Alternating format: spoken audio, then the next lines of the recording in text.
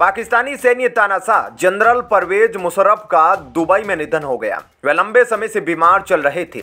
मुशर्रफ को दिल और उम्र संबंधी दूसरी कई स्वास्थ्य समस्याएँ थी।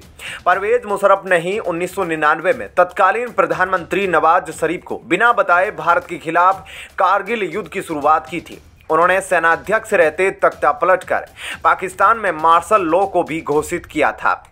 जनरल परवेज मुशर्रफ कारगिल युद्ध के वक्त पाकिस्तान के सैन्य प्रमुख थे। माना जाता है कि उन्होंने कारगिल को लेकर तत्कालीन प्रधानमंत्री नवाज़ शरीफ को अंधेरे में रखा था। मुशर्रफ ने 1999 में उस वक्त सैन्य तख्ता पलट किया जब नवाज़ शरीफ श्रीलंका में थे। बाद में उन्होंने खुद को पाकिस्तान का राष्ट्रपति घोषित कर दिया। 12 अक्टूबर 1999 को पाक में सैन्य तख्ता पलट हुआ था। इस रक्त विहीन क्रांति में नवाज़ पर श्रीलंका से आ रहे। मुशरफ के विमान का अपहरण करने और आतंकवाद फैलाने का आरोप लगाने के बाद गिरफ़्तार किया गया।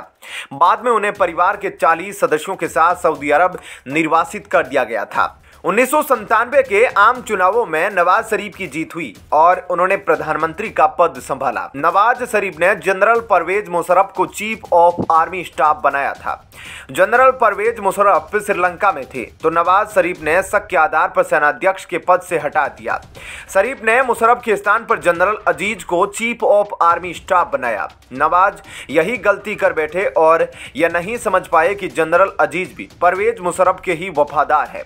आखिर शरीफ जिस सैन्य तख्ता पलट की आशंका से घिरे थे, वह हो ही गया। ऐसे में क्या कहना है आपका इस खबर पर? ज़रूर बताएँ। धन्यवाद।